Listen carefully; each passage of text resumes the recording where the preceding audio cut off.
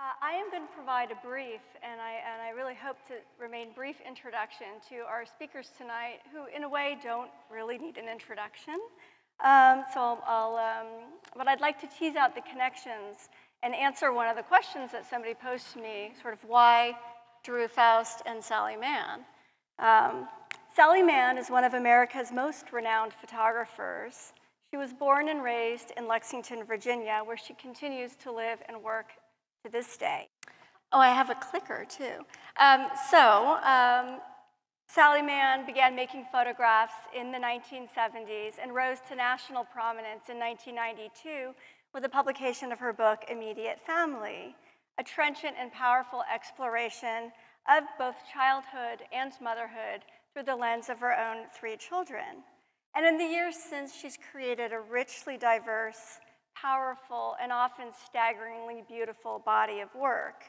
The exhibition that you've seen upstairs, A Thousand Crossings, explores five series of work through the lens of Mann's deep, enduring, and ever-changing connection to the South. Mann has not only grappled with her Southern heritage in her work, but it also grounds her 2015 memoir, Hold Still. This book, which was a finalist for the National Book Award, distinction I might add she shares with Drew Faust, um, to be a finalist for that very esteemed prize, um, actually had its start a decade ago um, at Harvard when she was asked to deliver the Massey Lectures there. Speaking of Harvard, our other guest, Drew Gilpin Faust, also grew up in Virginia. In her case, on a farm in Clarke County in the Shenandoah Valley. Let's see if I can get that picture. Um, and after a childhood of raising animals and excelling in the 4 H club, there we go. Um, it's so cute.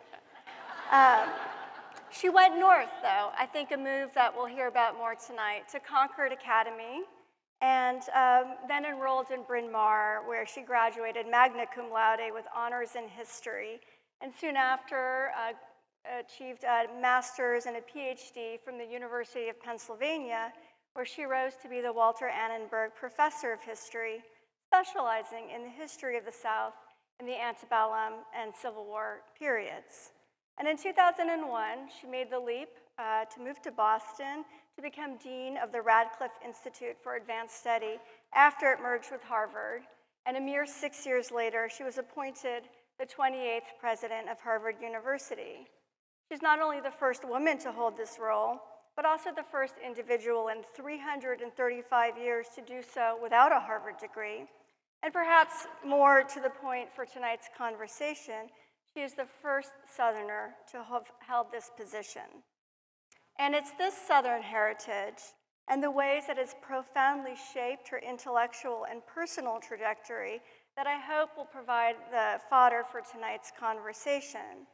I want to note just a few of the many groundbreaking um, books by Faust that have transformed our understanding of the South in the Civil War.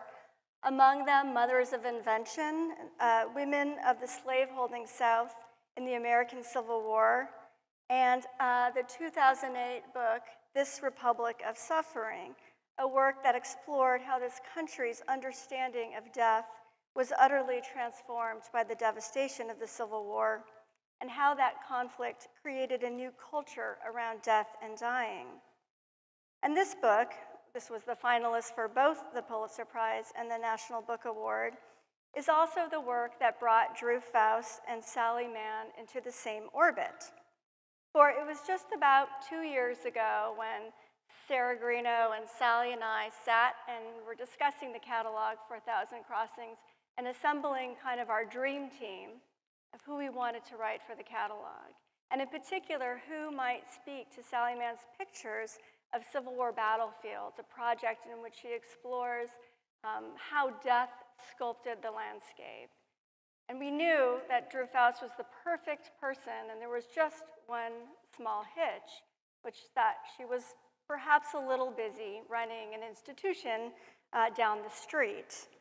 Nevertheless, we persisted and we asked her, and much to our amazement and delight, and perhaps to your temporary chagrin, um, uh, Drew, you agreed to write for the catalog.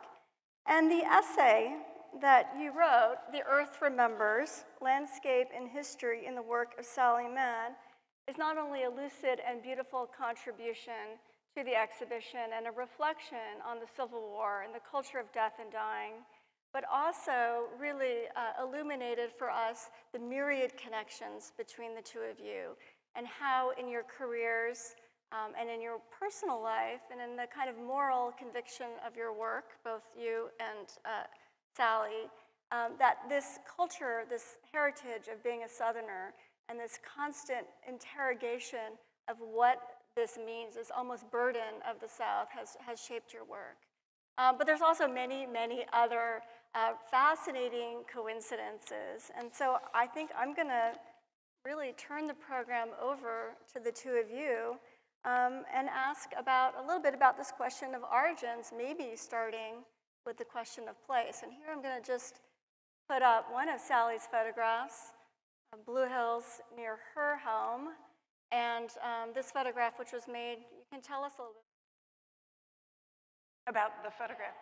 The photograph on the right is looking out my back door as a child. And it was actually a photograph taken originally with an 8 by 10 view camera, which was a passion my first husband had. And he traipsed all over the fields of the northern part of the Shenandoah Valley and of our farm, taking pictures of Virginia. So I found these striking resonances. Obviously, he was uh, not of the caliber photographer of Sally Mann. That wasn't a professional commitment, it was a hobby. But nevertheless, this landscape and the air the, the air and kind of mood of the landscape is something that I looked at and thought a lot about all my life, and I, I found your photographs just so stunning and redolent with the reality of what it was to grow up in that landscape at the moment we both did. Yeah. And I'm a little bit older than Sally, but we're essentially the same era yeah. of, of growing up in yeah. the 1950s. Yeah, and, and truly shocking parallels. I thought you were going to list some of them. No, I'm, I'm going to I'm gonna let us discover let them. Oh, wow. Somebody's no. prepared. no, this is just this uh, interview that you gave, which is fascinating, but I just kept circling things over and over again the animal husbandry and the uh, rebellious daughter who clashed with her mother about clothes. Oh, man. At least I wore them. Yeah. You did it. There's that.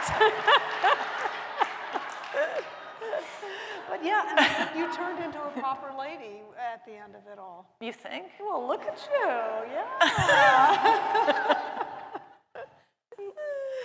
yeah, but see, now you're free of Harvard. You can really In bust hotels. loose. Yeah. Yeah. Never, just wait. I know. I am. Yeah, the, uh, the, the, similarities, the sent off to boarding school in the north, and oh God, it just goes on. I have a on. question about that, actually. I mean, I'd like to go back to the childhood a little bit, and I'm, I'm interested also, if you're comfortable talking about your parents and, and the sort of your mothers, right? And you both yeah, yeah, yeah, seem to have same. had kind of flamboyant fathers um, and somewhat more uh, withholding mothers. But I'm also interested in the fact that both of you, you know, grew up in the segregated South and uh, had differing, I think, levels of awareness of, of injustice. But at a critical time in this country's history, but also your own personal histories, you both went to school elsewhere. You, uh, you went to Concord when you were just going into ninth grade, I believe, right? An mm-hmm. all girls school in Massachusetts. And then you went to Putney for high school as well. Mm-hmm. And so, what were those experiences like? I'm the all girls. I think was really. I went to an all girls high school, so junior high and high school, um, and it was really formative for me. And I'm curious about that. But also, when you returned to the South, did you have a different lens because of being away? Of course I did. But you were a whelp when you left. You were a tiny child. It was right before my 13th birthday when I, when I left. Were you glad to go? I was so relieved. Uh. And I, one of the aspects that, that I think is a, just a basis for understanding our lives, and add to it or correct if I get it wrong, But there was a society that was set in a series of expectations and norms about how people behaved, and especially how white and black people were supposed to relate to one another. And we were taught these in very indirect ways for the most part, so that we almost weren't aware of having been taught them. Right. And yet, in the mid 1950s, with Brown v. Board and the other changes, all of this began to be questioned. And we heard it on the radio or we heard it from conversations around us. But I think we were both at that age not fully aware of what it all meant.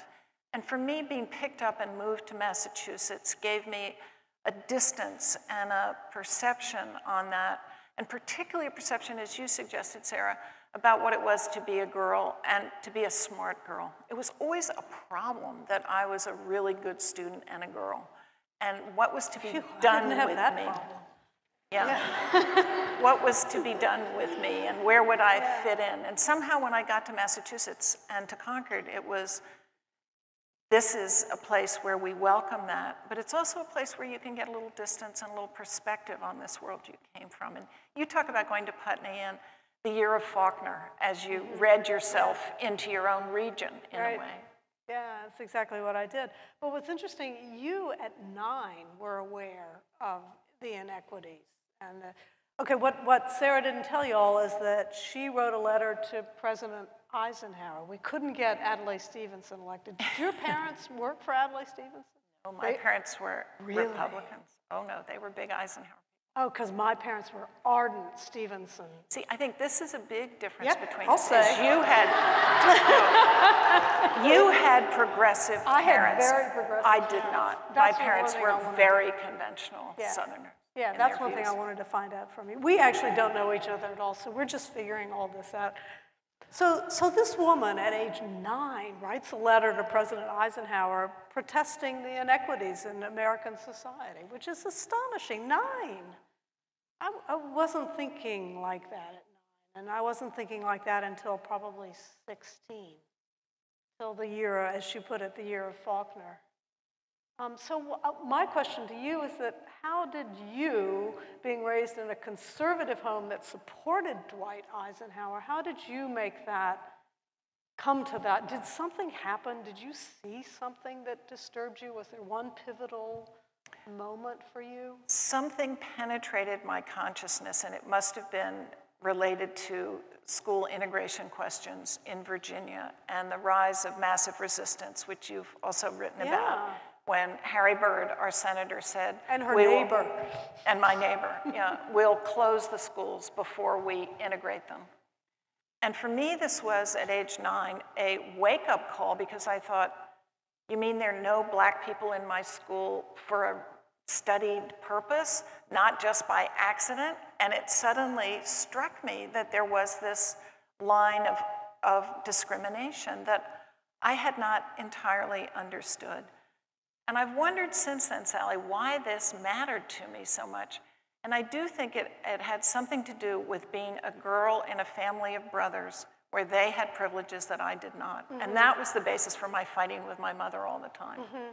You can't do this. You have to wear a nice dress. You have to behave yourself. You have to sit nicely. You have to do all these girl things. And I was just always pissed off about it. So you tried, you, this was and an so I think, writ I- yeah, so I think that made me open to a sense of, well, those people can't even go to my school? What, what kind of world is this? Yeah. So- but, but like you said, it was in the water. It was just understood that they didn't go Yeah, to your school. yeah. I mean, what made you? It's just odd that you questioned it, and at such a young age that you. But you mentioned church, so your family went to church, and in church they taught you all the churchy virtues, right? So Right. maybe you were And those were in contradiction, yeah. within that somehow. Um, but I did. I, I don't know. I just didn't. I just assumed that that's the way it was, and I didn't ask the question. But when I got out of there into New England, then it really cast things into sharp relief for me in ways that, that enabled me to begin to think about how do I deal with this. Mm-hmm. And, and I think that's what we've seen as this powerful parallel is the way our professional lives and commitments have been about grappling with that heritage in the very different, but, but some, in some ways similar ways we have. Yeah, I, th- I, I think so. You, but you were so much more pro, proactive, I hate that verb, um, or is it an adjective? Hate the adjective. Hate them both.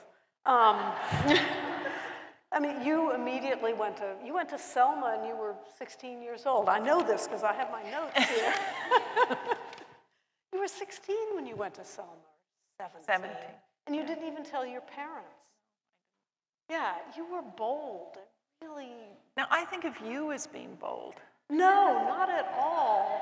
I was busy making out with my boyfriends in the dark room. Is that how you got into photography? Yes, of course. When you, ah. when you made that comment earlier today, you said I spent a lot of time in the dark room when I was young. I thought, yeah, I did too.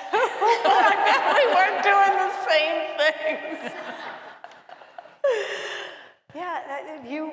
uh, I just don't understand what made you so um, active, reactive. Well, I wonder if some of it is that you did have progressive parents.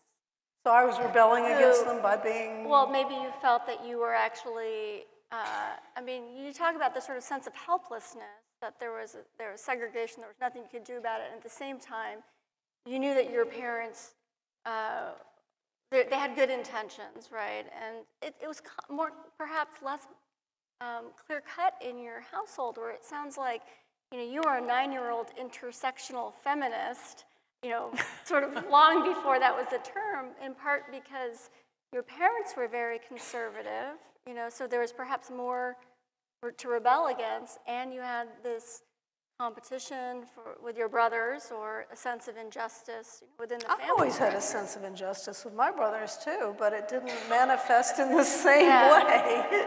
I short sheeted them. Mm-hmm. but it, you know, I, I, I think it's just remarkable that you. Do you suppose it was you were rebelling maybe a little bit against your parents? Oh, this was sure. your form oh, I'm of sure. rebellion. I'm sure. And you know, another thing I've thought about, Sally, with we've kind of traced these various parallels in our lives, but you have stayed in the South and embraced the South and represented the South in its very complex ways. I had to get out of there. And so that's a very different outcome. I was speaking before the program at, with a gentleman who I'm looking at right now who's from Richmond, and he talked about, he's about my age, a little younger than I am. And he said the young women he grew up with in Richmond had to get out of there to survive. And that's how I felt. I had to get out to take my. I had to go back to take my pictures. That's. I had to go back to take the mm-hmm. pictures I wanted. Mm-hmm. That's why. Because I've always found these beautiful landscapes that we've seen both so captivating, but so ironic in that they are so captivating and yet they were so hostile to me as a child. That place was so, I was so at odds with that place when I was a child. Yeah. But you were never at odds with the place somehow. It was you and the place against all comers Yeah. or against Yeah. whatever so might you don't have this deep, profound affection for your ancestral acres, even if there's. I haven't been back there in 16, 17. Yeah. Okay. So no, that, that that's a very. Very different. And you went to a. It was all girls. Concord was all girls. Well, just as a quick detour, do you think there's a place for all girls education? this is just, no, I'm just curious. I'm curious because there's an all girls school near where I live, and I'm, I'm just interested in what you think. Well, I'm the product of both Concord Academy and Bryn Mawr College. Yeah, they're and you went to Hollins, right? That was all women? And briefly, I went to Hollins just so that I could get a degree. Oh. Yeah. Isn't that why most But- people go? Probably the only place that would take me at that point. I think women's, women's education can give young women a real sense of strength and power, and for those who choose it, I think it can be outstanding. So, Yeah. yes, I I'm- do think there's a I, I place. I do too, and I just wondered how unpopular an idea that would, that would be. I'm glad you agree with me. I couldn't argue with you about it. um, but so, when you went to Concord, were the politics extremely liberal? I think of Concord as being a sort of staid. In that era, it was it wasn't Putney, No, but it also wasn't Miss Porter's. It was it was pretty it was Porter's. pretty liberal, and for Yeah. me, it was an awakening because I had not seen politics of that sort, and um, I think I, I evolved quite dramatically in my understanding. Was it your first integrated school? Yes. Yeah, of course it was. Yeah.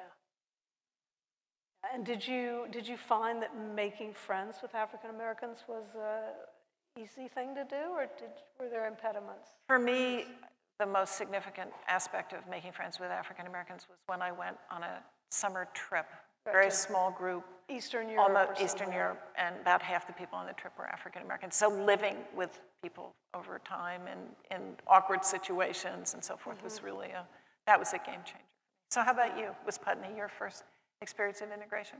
Uh, no, actually. The high school that I went to, however briefly, um, in Lexington was integrated the year, much the year I went there. Um, and it, it went relatively uh, smoothly, I think. And I made friends with the friends that I have to this day. So I think that, you know, I think the, the, while we are close, and particularly relative to the youngsters in this, you know, we all probably seem like just old bats up here, but I think those four years that separate us were pretty important, uh, pretty pivotal. Um, I, do, I do remember my parents' outrage at the Prince Edward uh, school closings. But I thought it was confined to one county. Am I right? That's right. It was Prince Edward that actually did close Do y'all know what we're talking about? So this Harry Byrd, her, her next door neighbor, who was evil, evil, evil man. At least he was the devil in my household. He was probably your best friend. I'm He was sorry. a very good friend of my parents. Yeah. that, that sums it up. My parents just detested him, and every dinner conversation was spent there vilifying this Harry Byrd guy. He closed down the, he allowed Prince Edward County to close down its schools for six years. Six years. So African Americans got no education. And then he had the audacity to offer um, white people subsidies so that they could ch- send their children to boarding school. And one of the big issues in our household was my parents fighting over whether, and I still have journal entries from my mother, fighting over whether or not to take the subsidies. Was it wrong to take the subsidies because they, you know, obviously benefited white people at the expense of African Americans who weren't getting this money for their schools, or should they take it and send their children to Putney where they could be enlightened? And I, honestly, my brother's in the audience, he might remember. I don't know if they took it or not, but I know they sent their children to Putney. That much I do. But it was a really difficult time, and I just remember how fraught and upset, um, uh, how much upset there was. And so when the schools were educated, I just kind of bent over backwards to be nice and gracious to these people who were in the schools. And also, I felt a kinship with them because I never fit in anywhere.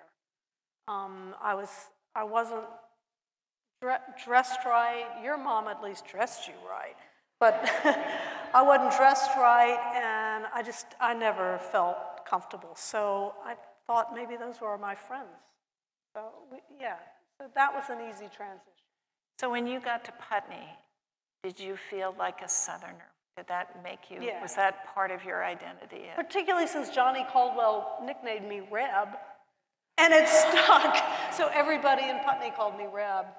Yeah, So that came with a whole burden. it certainly did.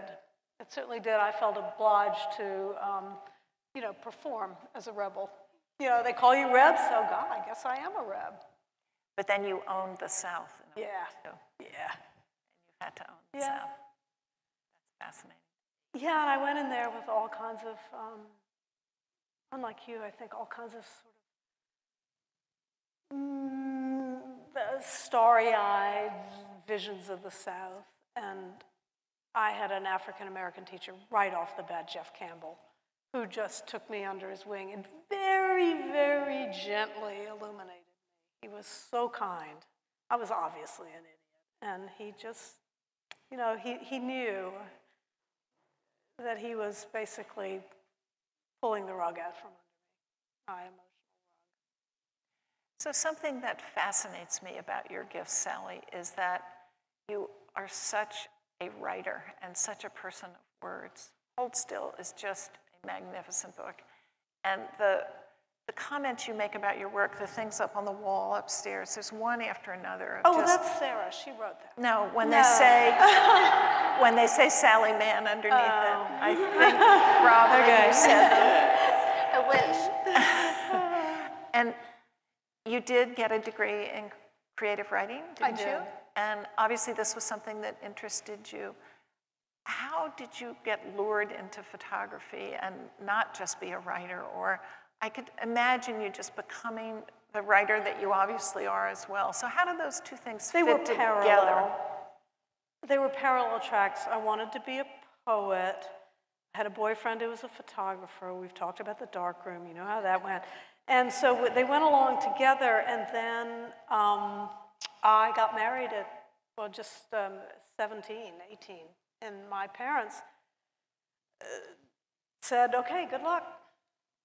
Basically, they, they did like that. They gave me $100 a month for housing and food, and that was, and, and they paid my tuition, but that was it, so I had to earn a living. And it was much easier to earn a living with photography, needless to say, than poetry, so I just concentrated on that. and Did the old Malcolm Gladwell 10,000 hour thing. and Just got very, very good at it, because I had to, because it was a job. And did your parents support you when you did all that CORE thing in No. Philadelphia? No. So were you estranged effectively from them at, at your, in your teens, late teens? Well, the important things in my life were not things that I could discuss with them. What did they think you were doing? They worried about it a I lot. they worried about the fact that, uh, here's a story. Um, when I was a freshman at Bryn Mawr College, I had a boyfriend that I met organizing people in a slum in Philadelphia for rat control. So it was a political involvement. This was that CORE thing, was that it? Or No- no, this- this was- Previous to that? Yeah, previous So to many good deeds. And so I Hard met this guy of. and started having this great romance with him. And my mother was terrified that I might be sleeping with this guy. So she drove up, not didn't tell me, drove up, met the freshman dean, and said, I don't think you're exerting enough control over my daughter. And the, the freshman dean said, Well, we don't do that. And in fact, I'm going to tell your daughter, who we consider an adult, that you were here and discuss your concerns with her. And so I get this call from the freshman dean and hear that my mother had come up, hadn't even called me up or taken me to lunch or dinner, and gone back to Virginia. And that, I think, is an example of how we were just living in different planets. And she had a very rigid version in her mind of what I ought to be, and I was never that, um, increasingly less that. But she died in my junior year of college in 1966. And my father probably had the same attitudes, but not the energy to enforce them. So, so Yeah. that released the pressure, and I kind of went off and did my own thing after that. Right. Can I ask a little bit about um, the time in Philadelphia? Um, and also, this really dovetails on your question for Sally, which was, you know, balancing or deciding between writing and photography. Um, some of you may not know, probably most of you, it's surprised to me that uh, Drew, you also made photographs in college. Hopefully, put a few up. That, that's the one I love. Uh, yeah, and the one on the left, Sally and I just saw it today. Um, we were really struck by them. And so you two had a kind of, um, you know, romance with a camera, but I think you're doing something very different. I was just wondering if you'd want to talk a little bit about these pictures uh, what you were doing at this time. I think you were working for HUD maybe then? Do you have the other one of the little girl? That's the one, the one I like best. Um, these are pictures that I took when I was working for the Department of Housing and Urban Development in 1968. It was my first job out of college. And it was a job I took as a uh, expression of my interest in public service and cities and what was happening in cities. And it, I think, grew out of my concerns about race, but it was in an urban, northern circumstance. And I took these on a HUD excursion one day, but I was doing quite a bit of photography by that time, in part because of my boyfriend, who was a photographer. The boyfriend. Well, And the one who ran around with the view camera later on. But Yeah. the, these were taken with a Nikkormat 35 millimeter, and we spent a lot of time in the dark room. And you still have that camera, I trust. I do still have that camera. I just unearthed it as we were moving two weeks ago. yeah, I'll send you some film. So I loved doing photography at that time, but then, you know, things just, life overtook me and I didn't continue with it. Though, it was interesting because I got involved with uh, some people at Temple University in Philadelphia, a group of psychiatrists there, and together with a child psychiatrist, we worked out this idea of having a program where we would give cameras to little kids in areas, distressed areas of Philadelphia, and have them take pictures about their lives and talk about their lives. And we applied for a grant together, and we did not get it. And I sometimes wonder if we had gotten that grant, where would my life If have gone? If you'd gotten that grant, you'd be Wendy Ewald. But would I have, you know, continued in photography and not gone Yeah. to HUD, and, and it just would have been a very different, different pattern. But Yeah. Well, not too late. you do know when? Do you know who I'm talking about? Wendy Ewald. Do you all know who Wendy, Wendy Ewald is? She's she's amazing. She's a MacArthur Fellow, but she, she's also a photographer, and that's exactly what, What she, she does. does. She gives cameras and has done it for 30 years or so. Gives cameras to kids, and they take just the most astonishing. Yeah, look her up. She's I will. She's really I good. will. Weren't those children who were uh, had been through medical procedures or were damaged in some way, or I, I think it was just going to be in schools, groups of students, okay. not okay, particularly I thought it- stressed. It related to. I mean, one of the things I was thinking about looking at these pictures earlier this week when you asked if I had any of them, these people are now 60 years old. And that's kind of jarring to, to think about. It was a long time ago. Yeah. Yeah, I was in a checkout line, and this old woman was checking me out, and and she said, "You know, I was one of your 12-year-olds," and I went, "Whoa!" you know, life has not been easy to her, but I was just shocked. Yeah, we're getting old. Yep. I'm a short. Do you have that feeling, like that? That I'm getting old. We, we know what that feeling is. Your body tells you that. But just that idea that you really have to focus, that you, you can't make a wrong decision, whereas before you could make all the wrong decisions in the world. Because you had time to make that. others. Because, yeah, you could, you could always backtrack and go back and do it right this, or do something different. And now you, you just have to do it right. There's so little time to do whatever that it is. But I also feel um, two weeks into unemployment Right. That- You're liberated, right? Yeah. that I have freedoms that come with age also to Right. try things that maybe I wouldn't have been able to, or Yeah, you're in a you're in an I feel unenviable opening enviable stage. position. Yeah. So, Sal, let me ask you something else about your photography that I find so intriguing, which is you have become so technically proficient. You're a chemist and you're a physicist, and you No, no, no, no. you make many of these photographs by kinds of technical interventions that seem to me so complex and learned. And did that come to you gradually? Was it something you were really comfortable with from the outset? Oh, I have to disabuse you of that premise right there because I'm really technically not very. And I'm not so good with chemistry. And I can't Well, how even- do you do all these miraculous things and know to do these miraculous things? I let Where them happen, and then I act like it was what I wanted in the first place. Truly. I just took a picture the other day, and it was a picture of the screen window at the cabin. I'm trying to document the cabin where so much of my family's life was spent. And I got this big scratch down right down the middle, and I said, "Oh shit!" And I said, I kind of like that scratch. You know, it really almost looks like it's in the screen. You just you just learn to accept these serendipitous moments, and they, and they they can work to your advantage. And just that mindset works to your advantage. I just find the whole mm-hmm. F-64 rigid, you know, with zone six, zone five, whatever it is, thing where everyone was so precise, F-64, it just wasn't for me.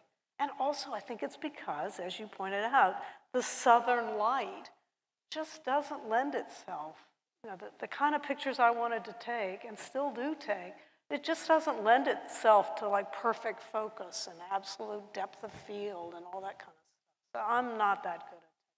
I am a good printer though. I'll take that. And what is involved in your mind in being a good printer? What, what are the Again, it's characteristics? a little, well, you, all- you do have to be pretty careful with measurements and those kind of, nah, nah, not that much. But you have to, you have to time things a little bit, and you do have to follow the rules about washing and re, refreshing your chemistry and all that kind of stuff, otherwise print won't work right. Um, but again, I think it's, sometimes I'll overexpose something and it'll have some feeling that just seems to work right that I never, if you'd actually done a test strip, you know, you remember test strips, mm-hmm. right? If I'd done a test strip, my test strip would have told me never to try that. So you just have to embrace, embrace these possible failures or failures. I'm going to introduce a- or interject a little curatorial commentary, which is I don't think you're a photographer. I should quite know what you're doing, but that embrace of chance is really important. But one thing that I was thinking about um, too, which is a kind of parallel between the ways that each of you are doing in your own work, you're kind of doing history differently. And what I mean by that is, um, Drew, when you were writing, um, particularly uh, this Republic of Suffering, you were doing a new kind of history, right? I mean, it was introduced in the 1960s and 70s, but it was looking uh, at different kinds of material, and it was actually really trying to evoke the experience and the materiality of many people that normally were not the subjects of history, were not the great men. And so you use, you sort of put yourself back into the shoes of those who had, you know, walked and lived and died during the Civil War, witnessed death, buried. And so it is that lived experience and that kind of texture of daily life. And I, I've- this is something we've never actually talked about, but I think about the fact that, you know, you started taking up collodion. I mean, you saw you know, the picture that you loved by France. Was it France's picture? France. Yeah, that was one of them. But don't forget all those Mileys before And the that. mile, right. And so the other thing, though, is, and in fact, that's great. I probably have one somewhere 20 slides down. Um, you had this experience cleaning these negatives by Michael Miley. There we go. Oh, Yeah, there you go. And you know, you were struck by that continuity of past and present.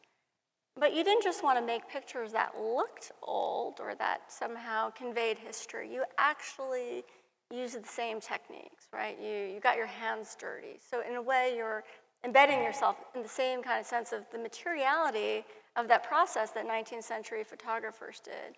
You took that on. And so in a way, it's kind of doing it's the same experience that Gardner or Brady or others had in the Civil War. So I sort of see that as a, as You know, I, I thought about that when I was writing the section of my essay for the catalog about how you looked at Civil War battlefields, which was through the same lens as those who'd been there. And mm-hmm. if I wanted to describe how I want to write history, it would be to look at the world through the lens Mm-hmm. of those who experienced it. What was it like for them from their perspective, not mm-hmm.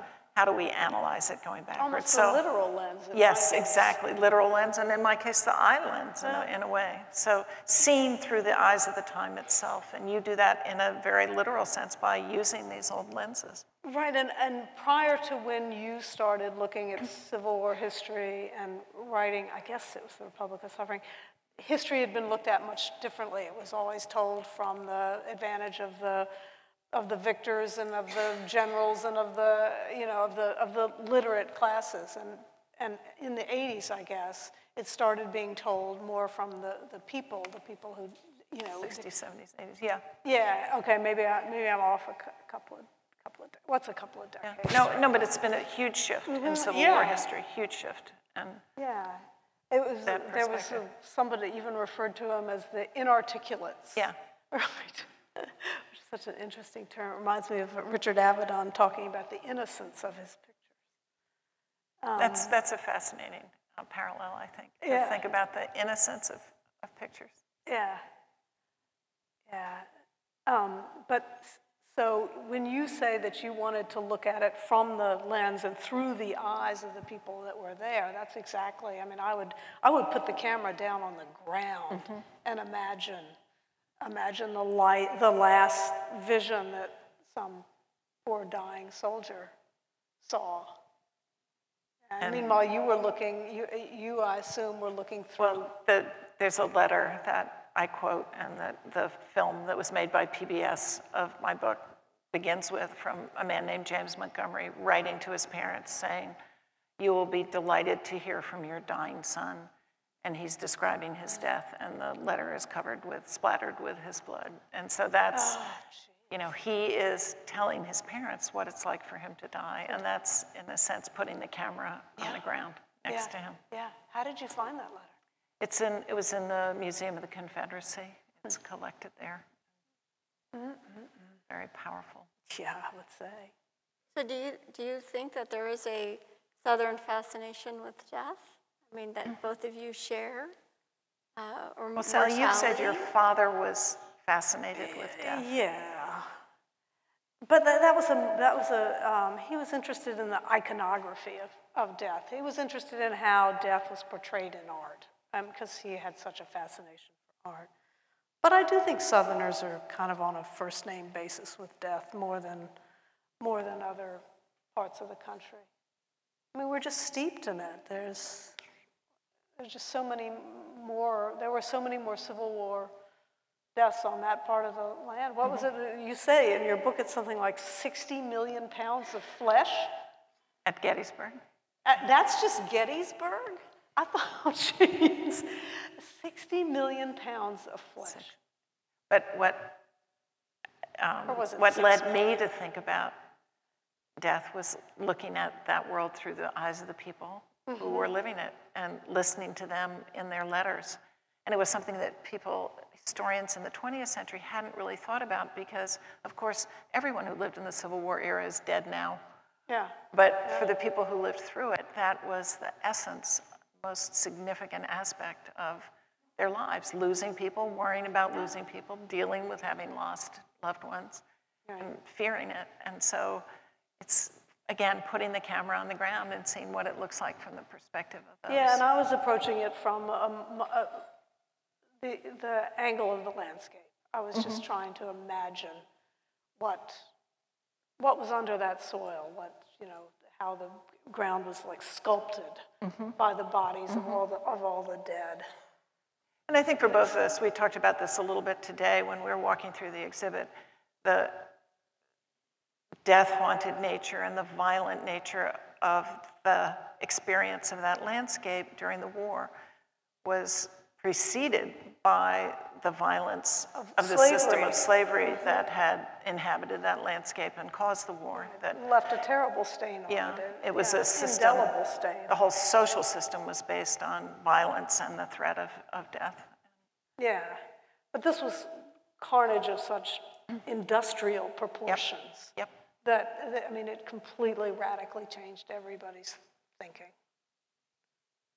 And it's just- You, you can't look at the landscape without thinking, or uh, I can't. I'm like, there's a great line from Flaubert where he says that he can't look at a cradle without thinking of a grave, and he can't look at a beautiful woman without thinking of her skeleton.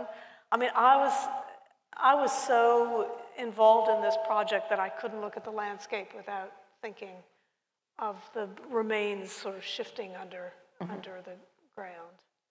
Now, Sally, when you were growing up, you didn't have, you didn't sort of visit Civil War battlefields in the way that you did. I mean, Drew, this sounds like it was a sort of a family pastime, right? You played all the time, and it took you a long time to, yeah, you were. Destiny or Yes, something. yeah. So uh, tell, tell us a little bit about that experience. Because there was a moment, too, when you, you realized that the way that your, you and your brothers had been enacting the Civil War, it, it, it- you know, in fact, um, the, the victors had been switched, right?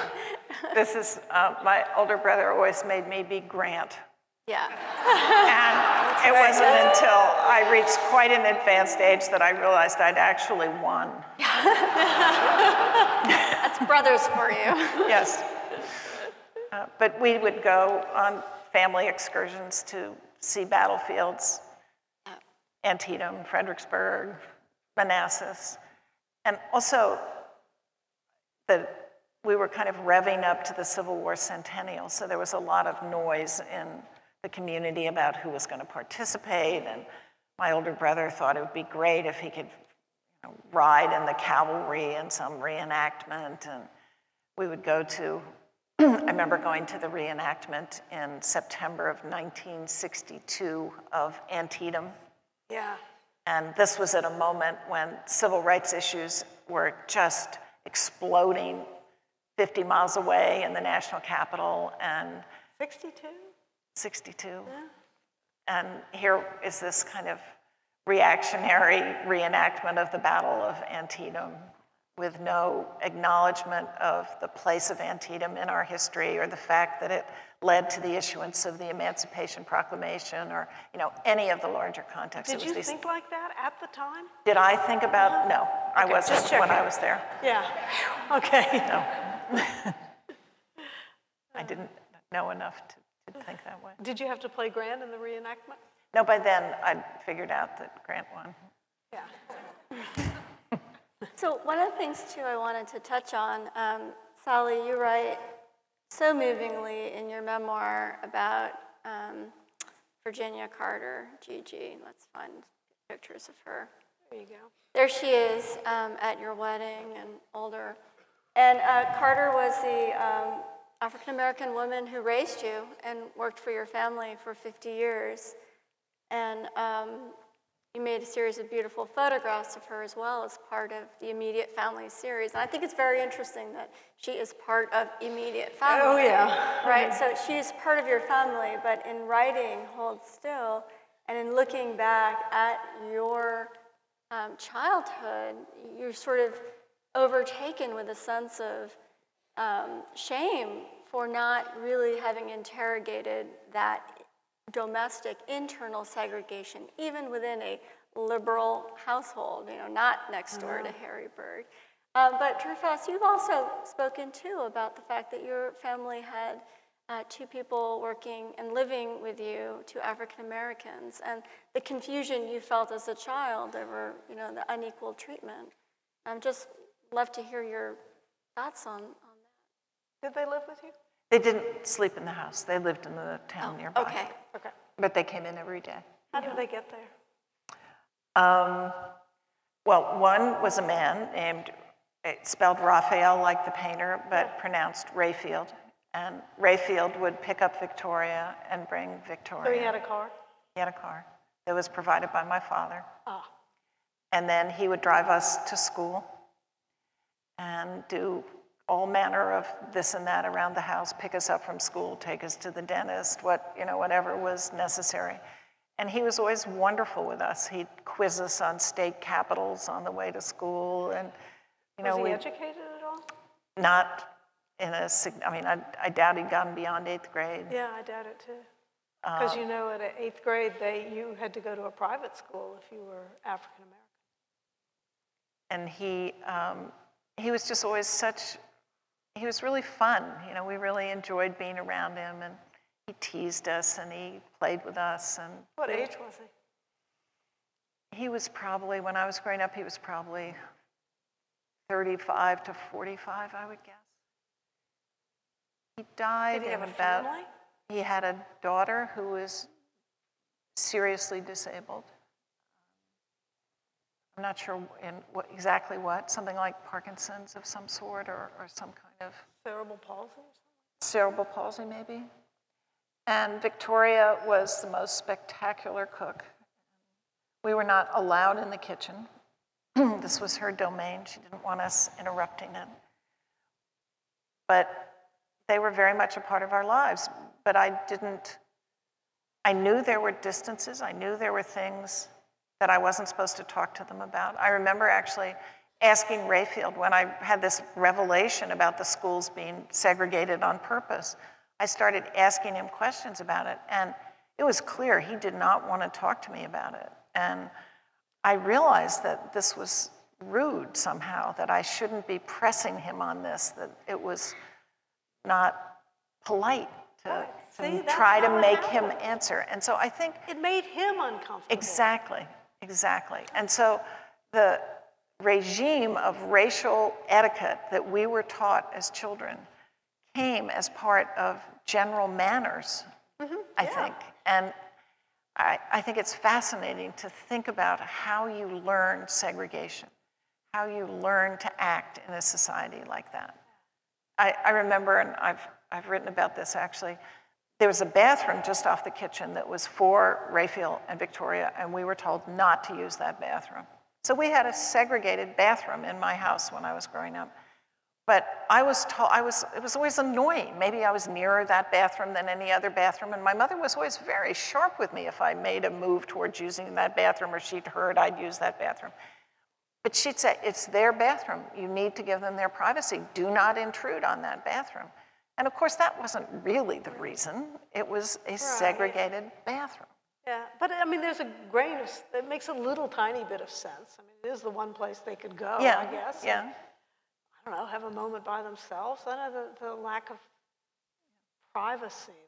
Drew, I asked you earlier, I had been curious about this timing of the letter you wrote as a nine year old to President Eisenhower, because it was just four or five months after the trial uh, over Emmett Till's murderers. And interestingly, in the way that history is continually folding back on itself, this case has just been reopened by the Justice Department. But you told me, you know, you didn't know about it for many years. Um, I don't think I did. Yeah. I mean, it's hard. I tried to reconstruct when I found the letter in the National Archives what might I have been hearing at Hearing, that time yeah. exactly You that don't know set what me off. provoked you to write that letter? That's a pretty radical thing. Perhaps it was not, though, I mean, the Emmett Till murder was not the kind of thing your parents would have talked about, and certainly not with wouldn't you, a nine year You old know, girl. it it maybe didn't even make it into the paper. It made it into Jet and Ebony. So the, Those were the news were was segregated. Yeah, the mm-hmm. news was segregated. And think about back then, it was really hard to get news. There's no internet, there's no, I mean, how did, how would we have known? I know that I saw one of my, and again, it's so, time is, is so mutable and it's labile, and I'm not really sure when, but I saw, um, I'm pretty sure I saw a picture of Emmett Till in his casket at some point. Do you, do you, and, and I remember. I don't remember that. And I, when I think about where I got news, we didn't have a television. Right, neither We did didn't we. get a daily newspaper. Oh, you didn't? But I used to, Raphael used to play the radio all the time when he was driving us around. And so I wonder what we might have heard listening to the radio with Raphael. Can I ask why you didn't get a newspaper? Do you have any idea why that is? Um, You lived in, near Washington. right. My mother subscribed to the Herald Tribune, which came two days late. Uh-huh. So there was that. Yeah. But there was no like regular. My New York newspaper. Times comes two days late. so don't make fun of us down there. I won't. I won't. I won't. But it didn't exactly give us timely views. I mean, I don't remember people sitting around reading newspapers and discussing the news. Life magazine?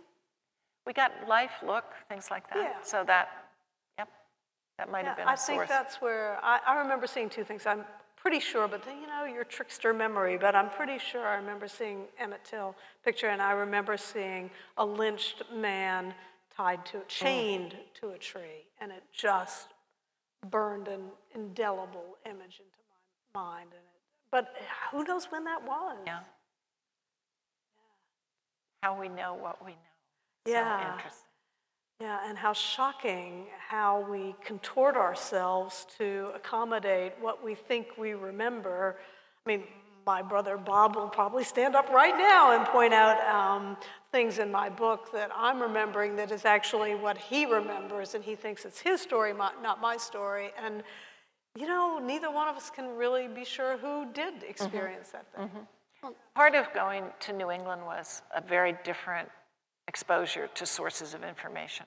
I think that there was a lot of newspapers and conversation and activity and so forth that I was suddenly made aware of when, when I left the South. And did you have uh, pe- speakers come who, Yes. because at Putney we had all these, Yes. you know, agitators. Yeah, Norman Thomas came. I mean, Uh, just yeah. think. Yeah, socialist Yeah. candidate, right? Yeah, and he? I, He was, he was. Yeah. Um, went to see Martin Luther King speak. I mean, it was just a different world.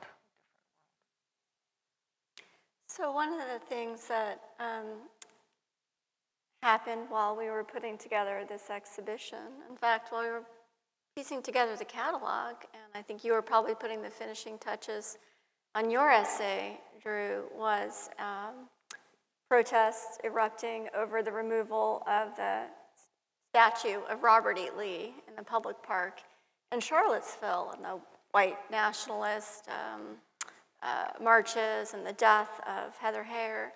And it really, I think, hit all of us, um, struck us in a very profound and, and challenging way that um, this history, that the Civil War, um, the pictures in the battlefields, this is not just history, or, you know, the Faulkner quote, the past is not dead, it's not even past. But I was wondering, you were describing this moment for you in the, in the 60s, where on the one hand there's this, um, you know, the centennial of the Civil War and this kind of reconstruction. On the other hand, there's, there's civil rights protests, this kind of agitation and this dissonance in culture. And are we there again now, or have we never left? And what is the work of a historian or an artist or just the citizen? How, have we not really come to terms with our past or with the South? Are we still kind of having to reinterrogate the same things over and over again?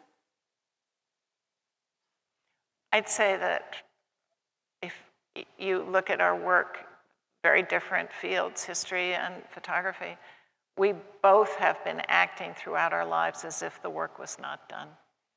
That horrifying as Charlottesville was, in some sense, the fact that you continued to do the work you did, the fact that I've continued with some interruptions to write the kind of work I have, is just a testament to the fact that we think there's more to be It's done. It's not done. Yeah. Would you, would you say that? too? Yeah, absolutely. Charlottesville was such an eye opener. You know, we're having a little uh, kerfuffle. Um, maybe that's sort of understating what, what, what's happened in Lexington. But um, when when the, our little humble Red Hen restaurant uh, refused to serve Sarah Sanders, it turned into a white nationalist, um, you know, shout fest. And yeah, the the Ku Klux Klan came and blanketed the town with leaflets and. I mean, we were just standing there in agastitude saying, What is this? Our little town, how can this be? And then we look all around and there's, you know, Robert E. Lee everywhere Washington and Lee University, Stonewall Jackson House. I mean, how, how is that all that going to be solved with, without bloodshed, without more Heather Haynes, Hines? Um, that it was just sheer luck that it was just one person in Charlottesville. How, how in the world? I mean, there's certainly nothing that Drew and I can do, but how, how, can, the, how can the people at large solve this? As, you know, and now, and my pictures are so provocative, which at the time I took them, I thought the world needed a little shaking up. Now I'm thinking, whoa, I'm backing off these pictures because, you know, I'm not sure the world can take it right now. Mm-hmm. You know, as, as you know, yeah. So, Sally, what comes next?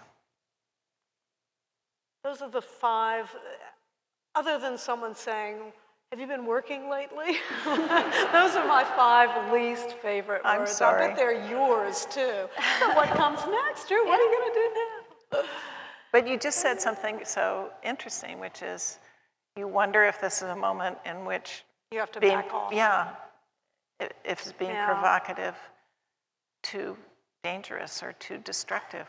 It actually does feel dangerous because I know the the um, woman who runs the Red Hen, and she was she had many, many, many death threats. Um, she's now she's now being protected by um, the Secret Service. That's scary. All she, I mean, she wasn't even taking that big a political stand. She was backing up her wait staff who didn't want to serve, you know, someone who was in, implementing policies that they were so deeply opposed to. I, yeah, I'm a little. I'm. I, I'm actually a little scared. Are you?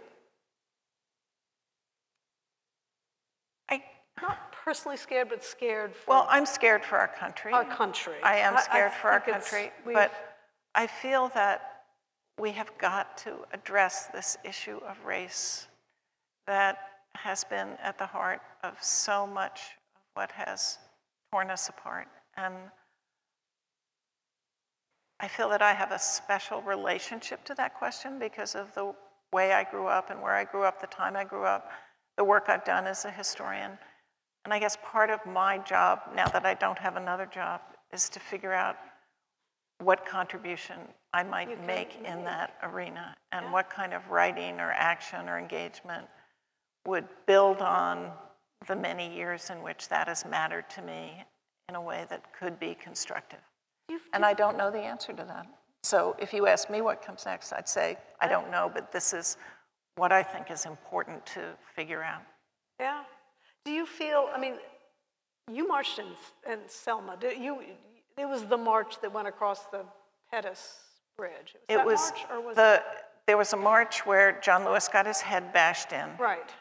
And then Martin Luther King said, we're going to have another march, Okay, everybody come.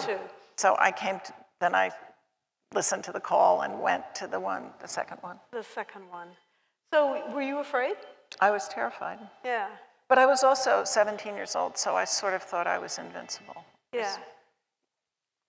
But you don't feel, in, do, you, do you feel a similar, you know, more existential terror at this, or fear at this point? Do you, do you feel that it's a bigger fear, a greater arena than, because back then, until, until it moved up to the northern cities and it became mm-hmm. about social justice and, and the cities were on fire, it was really isolated in the south.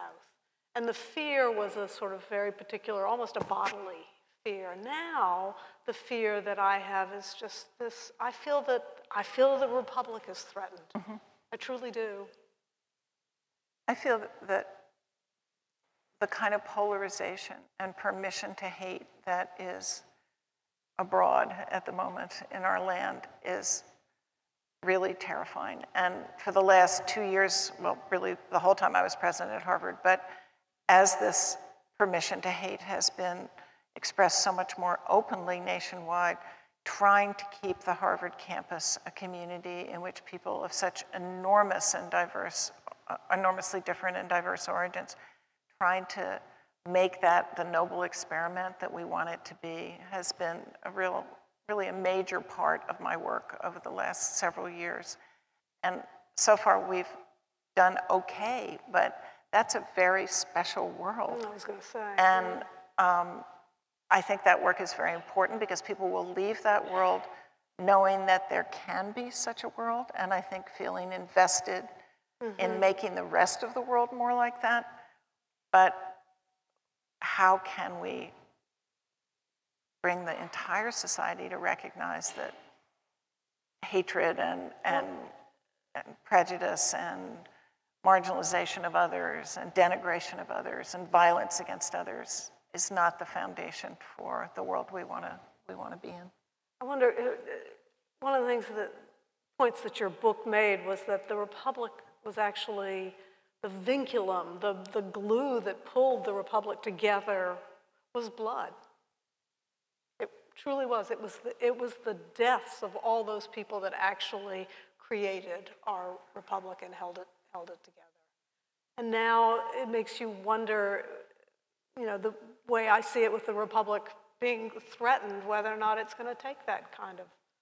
I mean, God help us, but it's just, I, I feel, I just feel it's so dire. And maybe it's because I've been, I'm so affected by what has happened in Lexington and the, and seeing the white nationalists and the screaming hatred. My, my closest friends are, are, are gay, and they're in tears, tears because of the, because a lot of it was, you know, because the They're wait staff. terrified, right? Yeah, they're terrified. They're, they're from Alabama and they've always been terrified. Um, but now they're, they're, they're newly re terrified. I, I don't know, I just have a very bleak outlook. Um, so get to work. Figure it out, right? Yeah. Do you're something. One of, you're one of the great minds. You have nothing to do. You've had two weeks off. Right. I really don't like to close the evening on, on such a Such a- I'm such a downer, Sally. I'm sorry. But actually, I think it's really an important point, which is that we are at kind of crisis point i- i- in our culture in terms of what I would say our civic culture.